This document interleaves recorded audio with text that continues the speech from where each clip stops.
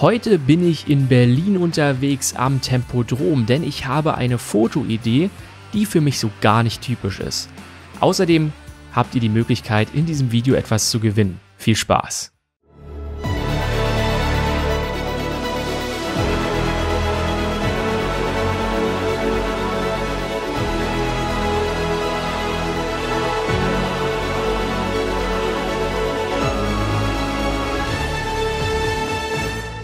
Wir haben heute optimale Bedingungen für das, was ich machen möchte, denn ich stehe hier vor dem Tempodrom und ich dachte mir, warum nicht mal ein bisschen Schwarz-Weiß-Fotografie oder vielleicht auch Langzeitbelichtung mit schönen Quellwolken, die dann am Himmel langgezogen werden. Quellwolken sind da, Wind ist da, das heißt, die Wolken bewegen sich auch schnell und es ist auch so ein Sonnenschattenspiel. Also eigentlich die perfekte Voraussetzung für das, was ich vorhabe. Jetzt muss ich mir nur noch die richtige Position aussuchen, weil ich möchte ehrlich gesagt nicht so ins Gegenlicht fotografieren, sondern eher mit der Sonne. Deswegen werde ich wahrscheinlich einmal ums Tempodrom herumlaufen. Los geht's.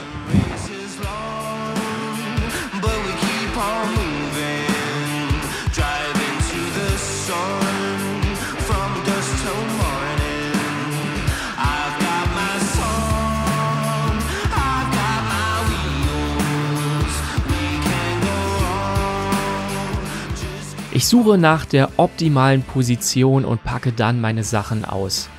Der Wind macht mir deutlich zu schaffen, denn ich habe Sorge, dass die Kamera auf dem Stativ nicht hundertprozentig still sein wird.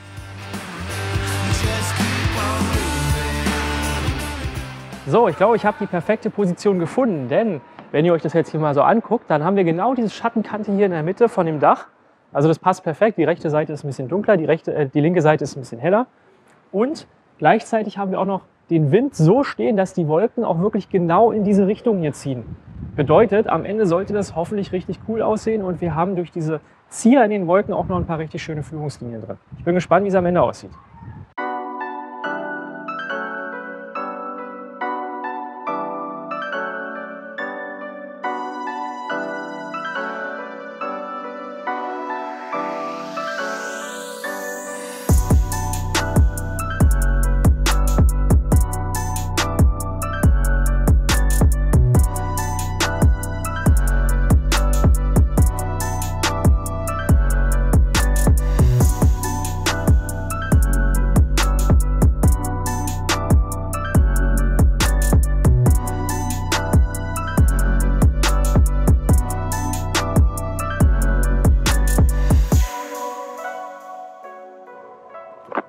Ich habe euch ja versprochen, dass es noch was zu gewinnen gibt. Und zwar geht es hier mal wieder um Loopdeck. Wer schon länger auf meinem Kanal unterwegs ist, der weiß, dass ich schon öfter mit Loopdeck eine Kooperation gemacht habe.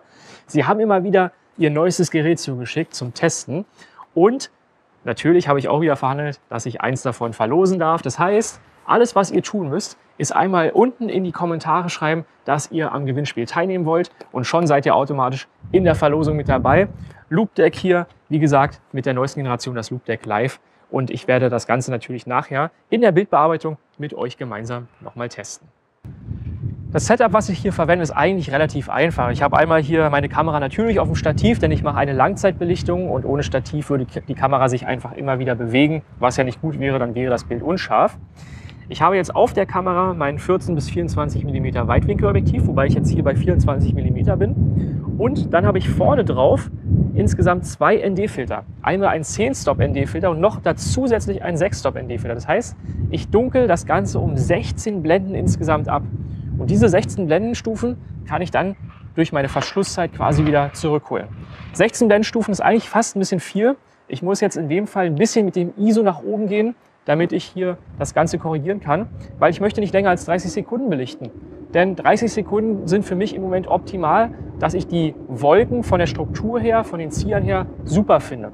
Wenn ich das jetzt ein oder zwei Minuten machen würde, diese Wolken bewegen sich so schnell, dann würde das wahrscheinlich am Ende einfach nur noch eine graue Soße sein. Und das möchte ich vermeiden. Deswegen 30 Sekunden. Dafür gehe ich dann mit dem ISO ein bisschen höher, bei Blende 8. Ja, ich glaube, ISO bin ich jetzt bei 400. Das ist aber vollkommen okay. Außerdem habe ich jetzt noch mein Picture Control anders eingestellt. Das heißt, das Foto wird mir hier monochromatisch dargestellt, also in schwarz-weiß. Bedeutet nicht, dass das Foto generell schwarz-weiß ist.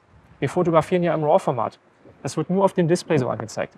Aber dann weiß ich jetzt schon, wie das Ganze in Schwarz-Weiß aussehen könnte und habe eine viel bessere Vorstellung davon, weil ich mich jetzt nur noch tatsächlich auf die Form und auf die Helligkeiten konzentrieren muss.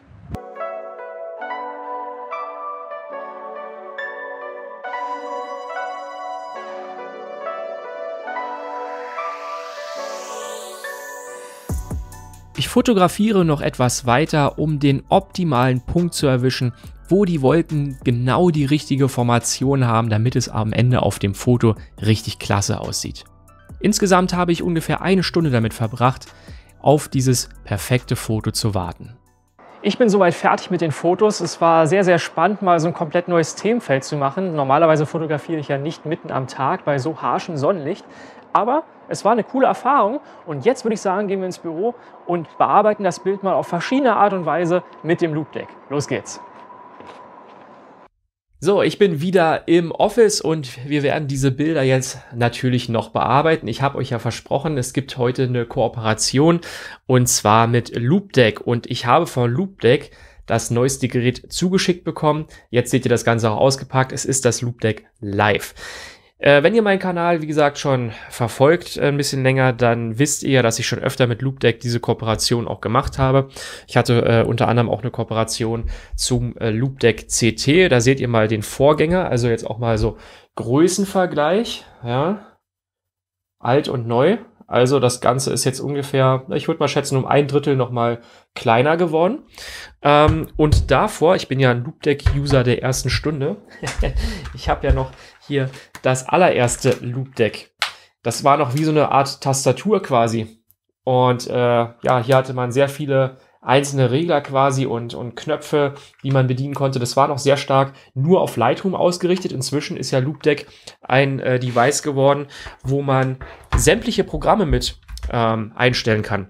Also es geht jetzt nicht nur noch für Lightroom, sondern du kannst im Prinzip ähm, deinen kompletten Rechner damit steuern. Ähm, selbst wenn du nur in dem Finder oder in dem Datei-Explorer drin bist, selbst dann kannst du dir hier die einzelnen Knöpfe belegen und äh, gewisse Befehle ausführen. Und das ist richtig cool. Da gibt es eine spezielle Software dafür, wo du wirklich jeden einzelnen Knopf belegen kann, wie du möchtest.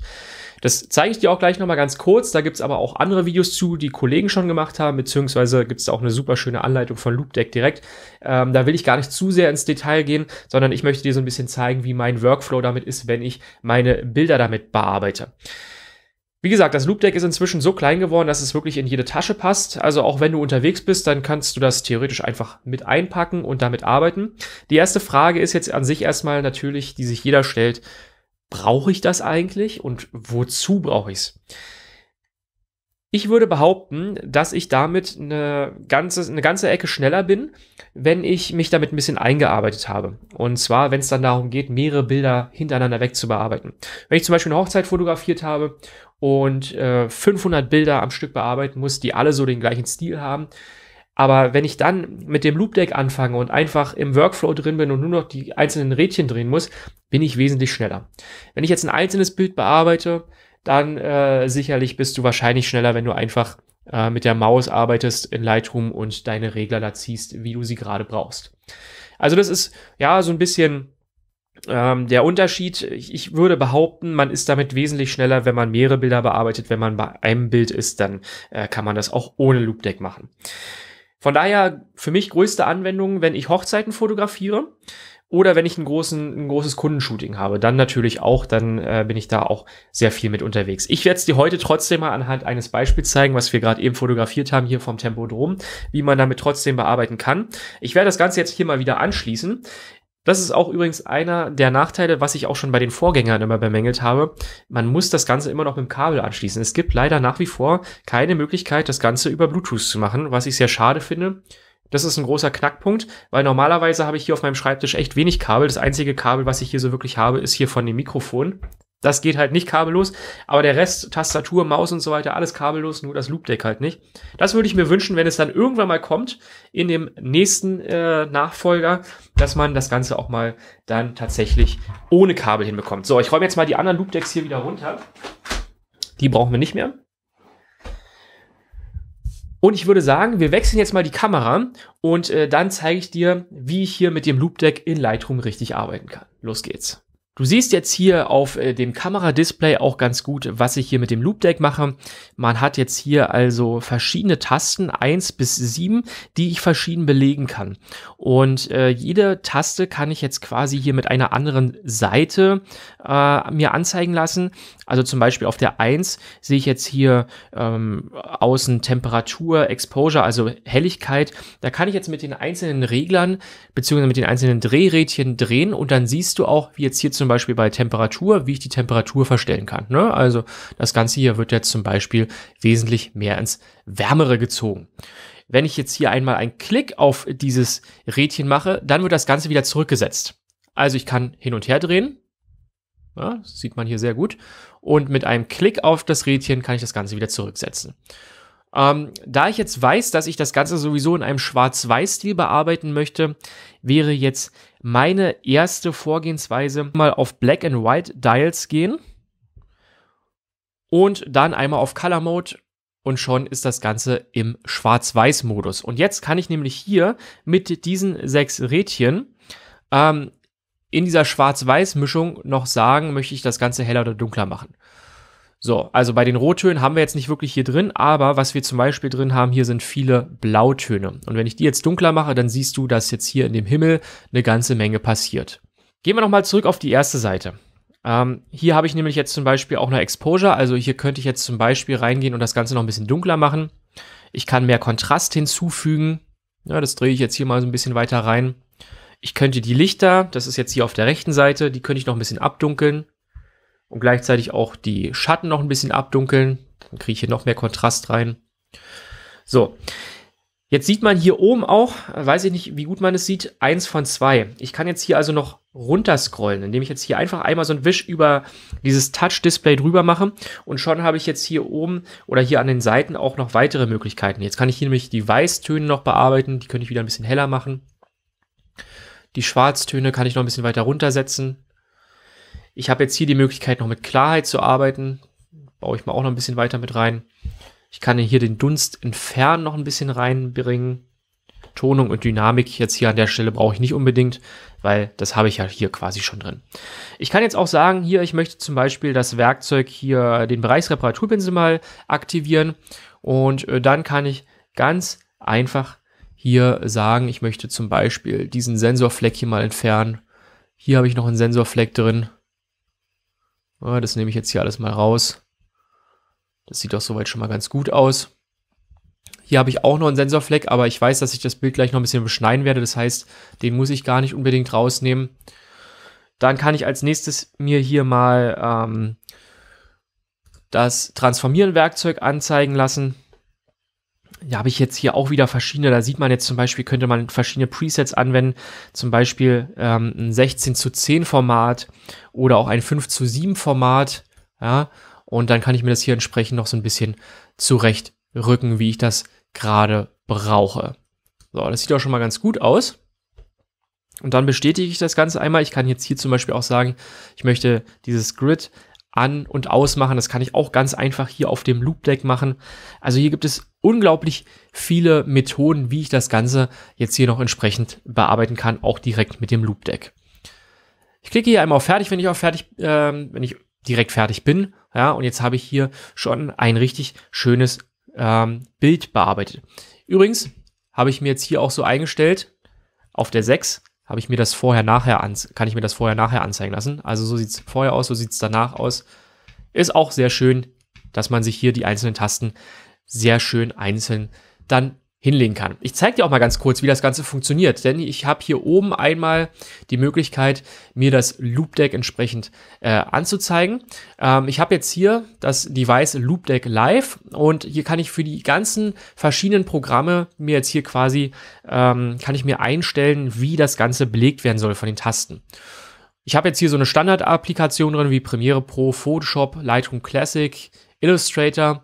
Ich kann aber auch zum Beispiel hier mit Final Cut Pro arbeiten oder auch einfach Mac OS. Ja, das heißt, ich kann mir hier zum Beispiel einstellen, ich möchte äh, mit diesem Drehrad hier die Lautstärke des Rechners einstellen. Ich möchte hier ähm, die Helligkeit des Bildschirms einstellen. Ich kann direkt hier auf den Taschenrechner zugreifen zum Beispiel. Und diese ganzen Tasten, die kann ich mir einzeln belegen. Und das geht hier, wie gesagt, ganz einfach. Aber da haben Kollegen schon extra Videos zugemacht. Das möchte ich jetzt hier nicht. Ich möchte das nicht als Tutorial für das Loop Deck verkaufen, sondern möchte dir zeigen, wie die Bildbearbeitung damit geht. Aber nur, dass du weißt, du kannst jede einzelne Taste hier wirklich so belegen, wie du es brauchst. Und das auch wirklich ganz, ganz einfach. Das an der Stelle wollte ich dir nochmal zeigen. Ich für meinen Teil bin jetzt hier erstmal so weit fertig, dass ich sage, ich gehe hier mal auf die 7. Auf die 7, da habe ich mir nämlich meine Exportfunktion gelegt. Und jetzt könnte ich zum Beispiel sagen, ich möchte das Ganze hier noch mit einem Preset exportieren. Ähm, oder ich möchte das Ganze auch in Photoshop weiter bearbeiten. Oder aber ich kann das Ganze auch einfach hier mit dem Export-Dialog öffnen. In meinem Fall sage ich jetzt einfach mal, ich möchte das Ganze mit Photoshop öffnen. Dann siehst du auch schon, dass das Ganze jetzt hier ähm, auf Photoshop geöffnet wird. Photoshop öffnet sich jetzt hier gerade auf dem zweiten Display. Das muss ich jetzt hier einmal rüberziehen. Und dann äh, öffnet sich das auch gleich hier in Photoshop. Also so viel zu dem Thema. Ähm, dieses Loop Deck ist wirklich richtig cool, gerade wenn man, wie gesagt, mehrere Bilder bearbeiten möchte. Ich muss jetzt hier das Ganze noch einmal bestätigen. So, und dann öffnet sich das ganze Bild hier auch in Photoshop. Hier gibt es also auch noch viele verschiedene Möglichkeiten, aber wie gesagt, in Photoshop habe ich mir das Ganze noch nicht wirklich eingerichtet. Deswegen an dieser Stelle zeige ich dir nur, dass es auch möglich ist. Jetzt haben wir hier ein fertiges Bild und ich würde sagen, das kann man jetzt so direkt abspeichern und auch mal direkt posten. Also ich bin sehr, sehr zufrieden insgesamt mit dieser Langzeitbelichtung. Hat so ein bisschen was von Feinart, ist normalerweise nicht mein Stil, aber ich dachte mir mal, ich kann ja auch mal was Neues probieren und auch mitten am Tag mal fotografieren. Also, das war's mit diesem Video. Ich hoffe, es hat dir gefallen. Und wenn dem so ist, kannst du gerne einen Daumen nach oben geben. Wie gesagt, wenn du ein Loop Deck äh, gewinnen möchtest, ein Loop Deck Live, dann musst du einfach das Ganze nur unten in die Kommentare posten, dass du mit dabei sein möchtest beim Gewinnspiel. Unter allen Kommentaren verlosen wir dann ein Loop Deck Live. Ansonsten, wie gesagt, wenn du noch Fragen hast, auch gerne unten in die Kommentare damit. Wir sehen uns hoffentlich auch im nächsten Video wieder. Falls du es noch nicht getan hast, kannst du gerne auch den Kanal abonnieren, dann verpasst du keine weiteren Videos mehr. Ich sage jetzt ciao, bis zum nächsten Mal und viel Spaß beim Fotografieren und Bildbearbeiten.